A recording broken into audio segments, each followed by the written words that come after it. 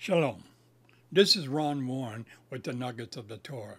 We're now talking about the first parsha of the Torah, Bereshit. The end is where we start from. We always begin a journey by first determining the, the destination. And when you look at that, the beginning of Genesis is completed in the destination of Revelation.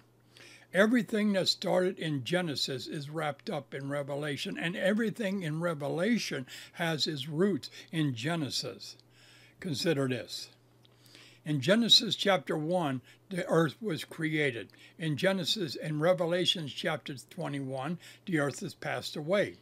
In Genesis chapter 1, verse 16, the sun governs the day. And in Revelations chapter 21, verse 23, there is no, no need for the sun. In Genesis chapter 1, verse 5, it talks about darkness or night being created. And in Revelations chapter 22, verse 5, it says there's no more night. In Genesis chapter 3 deals with the entrance of sin, and in Revelations chapter 21 and 22 it says there is no more sin.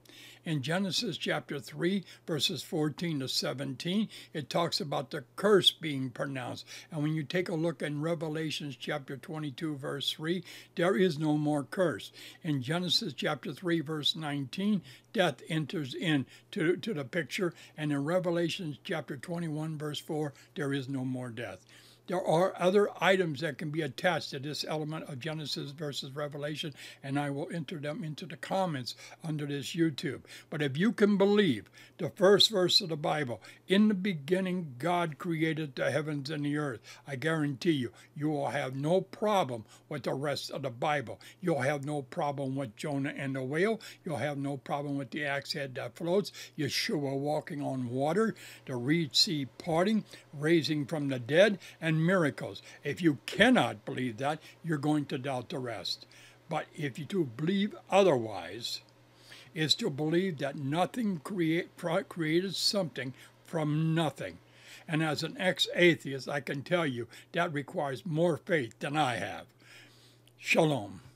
Until next week with the nuggets of the Torah.